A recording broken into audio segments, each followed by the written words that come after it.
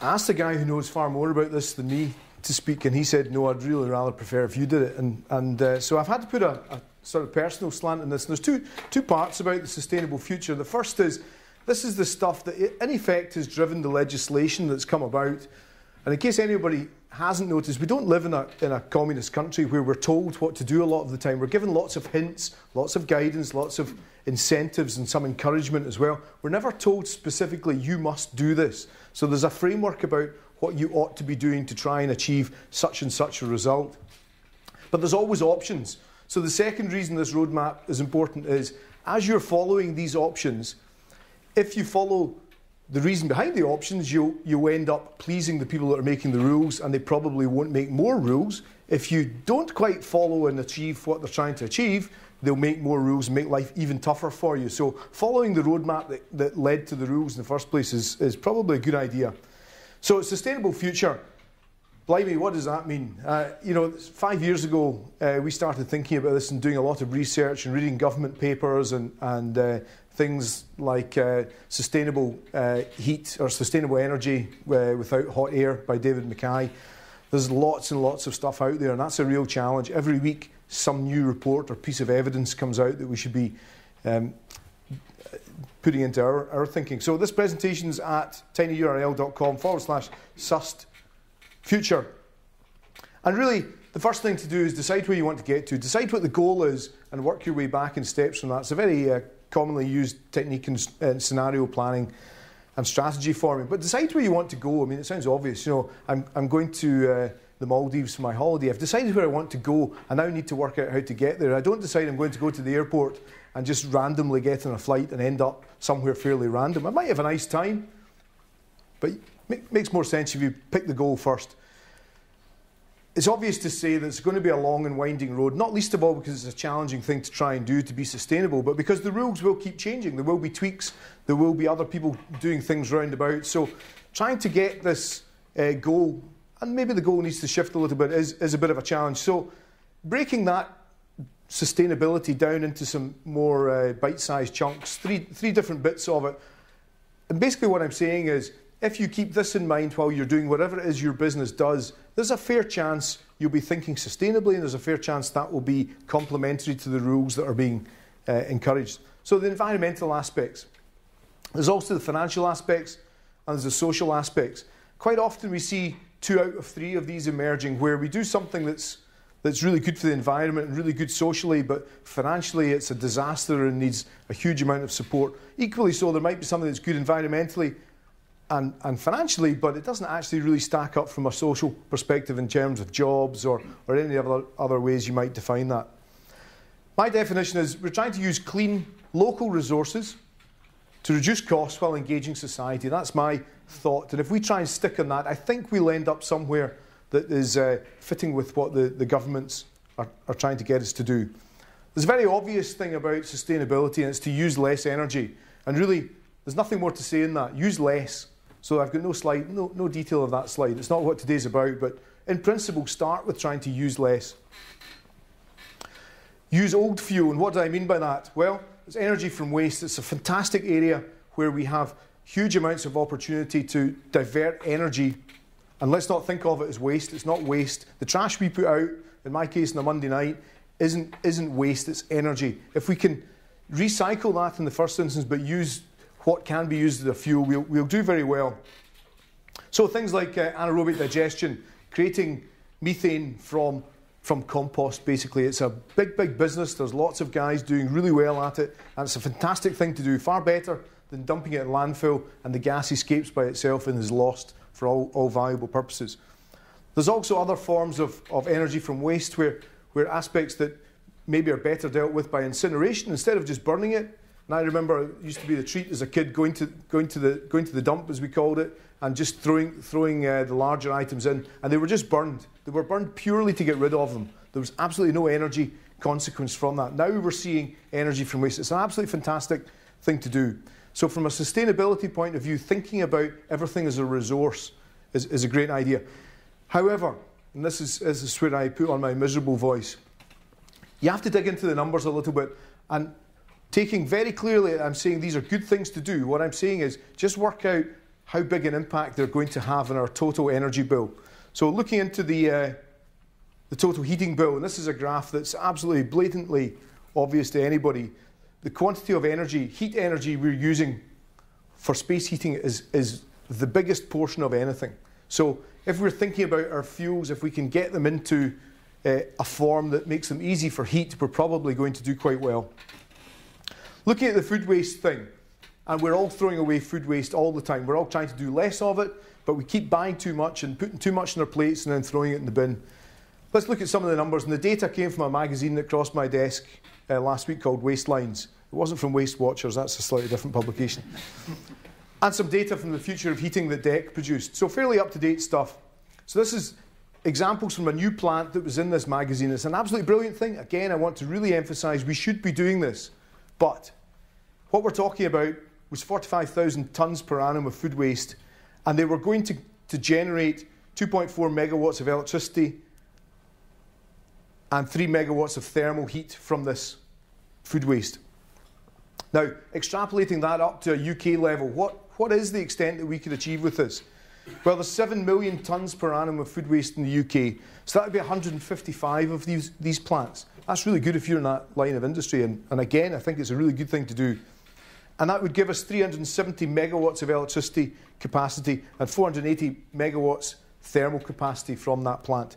Let's put that in context. That's 0.6 of the UK's electrical and heating and 0.34 of the UK's heating capacity. So something that we should do, something that's going to be good business for guys doing it, it isn't enough. Perhaps also people that are still going to have to burn gas, maybe instead of doing anaerobic digestion and making gas and then burning gas in a gas engine and getting some electricity and some heat. Maybe if we can sort out the rules with relation to the injection of that biomethane into the network for people that will have to burn gas, there will always be people that need to burn gas. That might be a, a better way of looking at it. So there's a, a quick, quick take on uh, use old fuel. Use it wisely is a subheading. What about using new fuel better? Combined heat and power.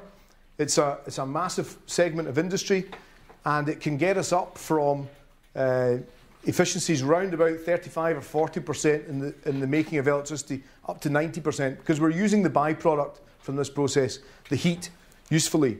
So lots more being said later on about uh, combined heat and power and some of the numbers here. My point is, and the sustainability point is, when you're doing that technique, think about the uh, Think about the sustainability Venn diagram, the three parts of environmental, financial, and social.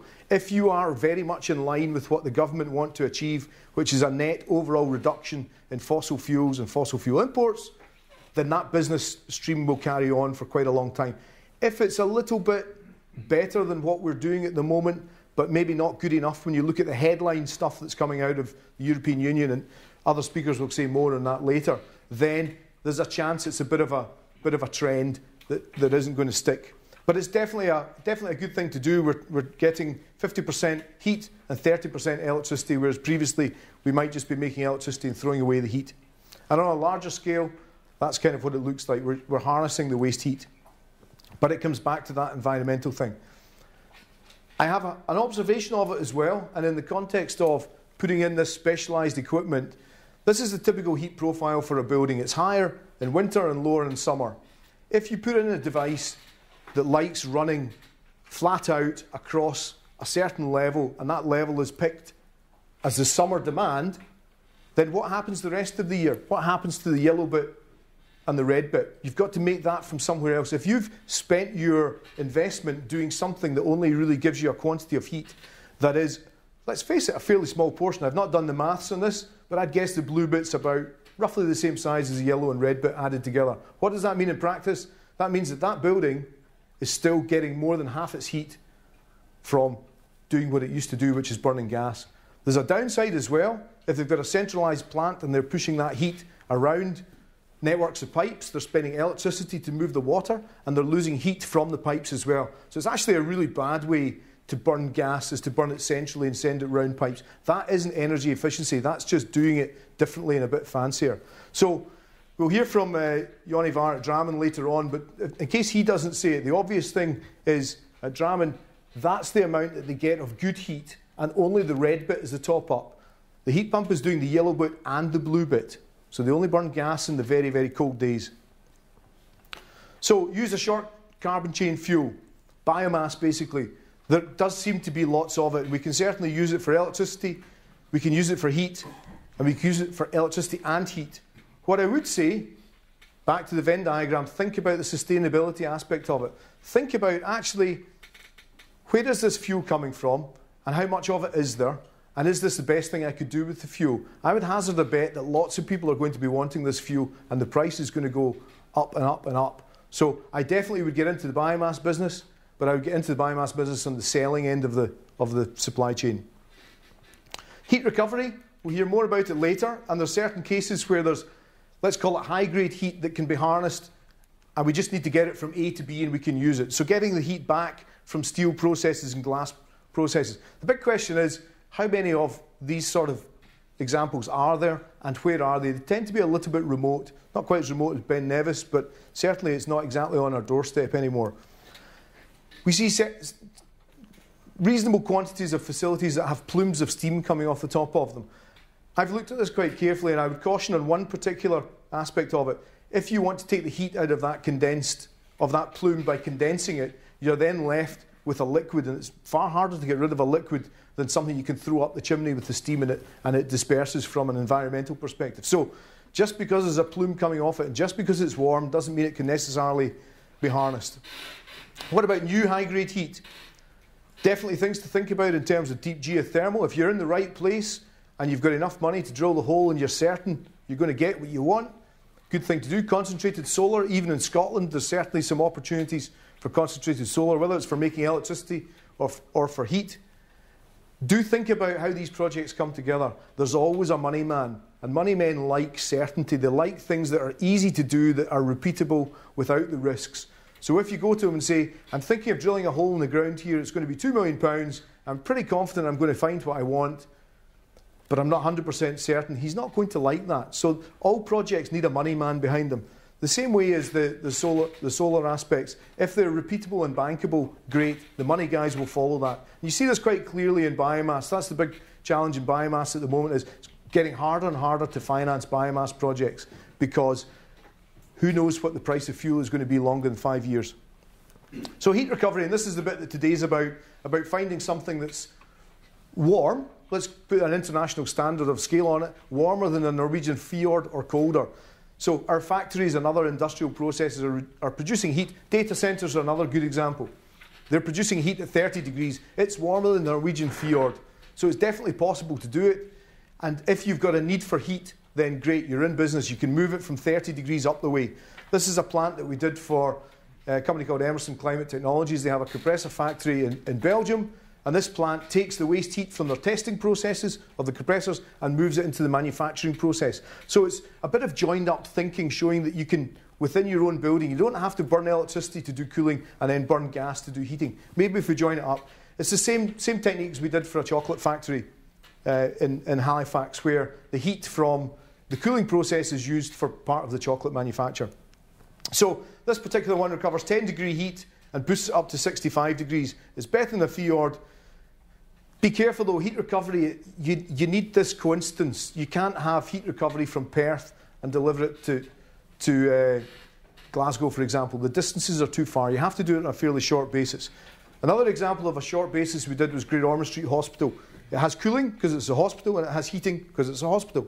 So instead of burning gas for the heating, they recover heat from the, from the cooling process and get some heating. So that's our, our sustainable point of view. We're, we're definitely trying to focus in the middle of the sustainability bit. And to, to sum up, there's lots and lots of sources of heat, and they're all absolutely the right thing to do in the right place. However, if you think about the grade of heat that you've got, if you have a factory that needs steam, there's a fair chance you're going to have to burn something. So there's an obvious one. If you have a university that needs to heat lecture theatres like this to 21 degrees and labs and so on, and maybe some hot water, maybe you don't need to burn something. 21 degrees is not very far above zero degrees. An airport, it doesn't need steam, it just needs warmth at round about 21 degrees. Probably have to, to do it by, by using heat at 60 or 70, but again, we don't need to burn something at 1300 degrees to get to 60 or, or 21 degrees. And the new Southern General Hospital that's being built. Again, it's a hospital. It needs lots of hot water and heating. And these things are round about 60 degrees, 70 degrees down to about 21 degrees. It's not 1300 degrees. You don't need to burn something for it. And thinking about the source and taking all these things about sustainability and the easiness and the practicality, we're blessed in this country with a really crap climate. We don't get a very good summer. It lasts about three weeks. We don't get a very good winter. We don't get much skiing. It lasts about three weeks. And we have 46 weeks of sprotum in between time. That means that we can do what you can't do in central Germany, which is take heat from the river. Because in central Germany, in winter, the river has a fair chance it will be too close to zero, impinging on that latent heat that was mentioned earlier. Our rivers don't go terribly cold. The measurements that we did, even on the Kelvin, which is a shallow, fast flowing river, didn't drop below four degrees in most of the winter. And what we're not saying is you need a technique that you can use 100% of the time. We're saying do it 95% of the time and rely on the, the, more, the more amenable forms of fuel like uh, burning gas on a short basis. But do the bulk of the heat the good way and just leave the rest the other way. So that's the sustainability point of view that kind of underpins what the rest of today is about. And I'll hand you over to the next speaker now. Thank you.